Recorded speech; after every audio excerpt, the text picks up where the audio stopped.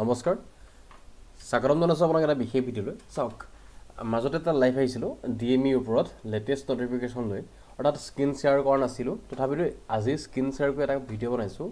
D M ই তৰফৰ পৰা অহা লেটেষ্ট যিটো নটিফিকেশ্যন বা লেটেষ্ট যি আপডেট আছে সেই সম্পৰ্কে আপোনাৰ খবৰ দিবলৈ আহিছোঁ। চাওক D M E third grade fourth grade অৰ্থাৎ দুহেজাৰ সাতচল্লিছটা পদত টেকনিকেল নন টেকনিকেল আৰু ফ'ৰ্থ গ্ৰেডৰ ওপৰত আছিলে ভিত্তি কৰি।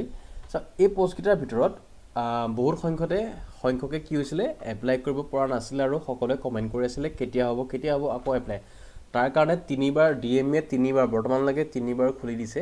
গতিকে ৰি এপ্লাই দিছিলে।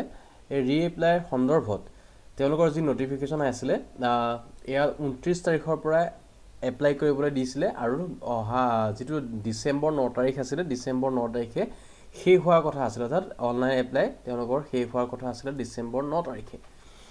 এতিয়া কি হৈছে লেটেষ্ট যিটো নটিফিকেশ্যন আছিলে সকলোৱে এপ্লাই কৰিব বিচাৰিছিলে কিন্তু লেটেষ্ট যি নটিফিকেশ্যনত গম পোৱা গ'ল যে সেয়া যিটো ঊনত্ৰিছ তাৰিখৰ পৰা হৈছিলে তাত দেখিব পাব এইখন তেওঁলোকৰ এডভাৰটাইজমেণ্ট দিছিলে কিমান ক'ত কিমান পষ্ট খালী আছিলে সেই সন্দৰ্ভত তেওঁলোকে জনাইছিলে পষ্ট খালী আছিলে এনেকুৱা লেব টেকনিচিয়ান ক'ৰবাত কিবা ড্ৰেছিং এক্সৰে মানে ৰেডিঅ'লজিষ্ট কিবা কিবি এনেকৈ গোটেইখিনি দেখি তেওঁলোকৰ পষ্টখিনি উলিয়াই দিছিলে ঠিক আছে?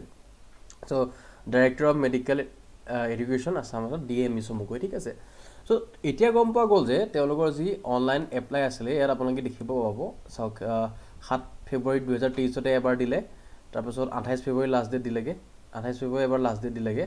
তাৰপিছত কি কৰিলে ইয়াত চাব পাব ষ্টাৰ্টিং ডেট আকৌ তিনিচুকীয়াৰ কাৰণে খুলি দিছিলে।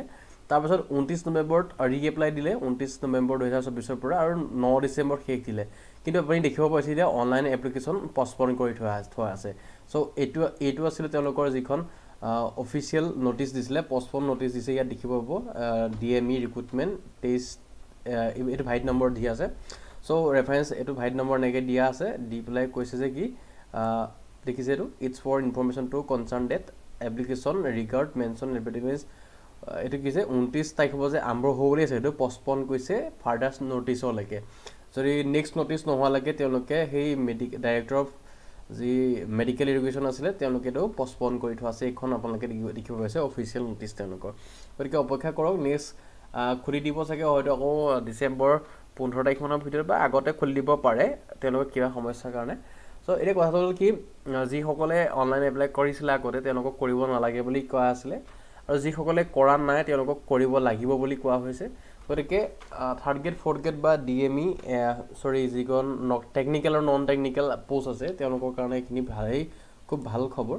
গতিকে আকৌ পুনৰ এবাৰ মুকলি হৈছে। গতিকে ৱেইট কৰক আহিব আহিব। গতিকে বেছি দিন নালাগে আৰু বেছি সময়ো নিদিব এপ্লাই কৰিবলৈ। যিকেইদিন পাই পৰাপত আপোনালোকে এপ্লাই কৰিব পাৰিব। আৰু খুব সম্ভৱতঃ ফেব্ৰুৱাৰী মানত এক্সাম অনুষ্ঠিত হৈ যাবলৈ আছে। কাৰণ যি দহ মে' আছে দহ মে'ত নিযুক্তি দিব পঁয়ত্ৰিছ হাজাৰ। সেই পঁয়ত্ৰিছ হাজাৰত হয়তো ইয়াৰ এই পষ্টখিনিও সোমাই আছে। গতিকে দহ মে'ত যি পষ্টিং হ'ব বা এপইণ্টমেণ্ট দিব তাৰ ভিতৰত লক্ষ্য ৰাখি তেওঁলোকে সোনকালে এক্সাম পাতিব সকলোৱে পঢ়া শুনা কৰি থাকক।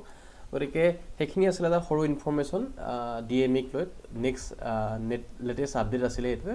গতিকে অন্য এটা ভিডিঅ' লগ পোৱাৰ প্ৰতিশ্ৰুতি আজিলৈ ভিডিঅ'টো ইয়াতে সামৰিছোঁ। ধন্যবাদ।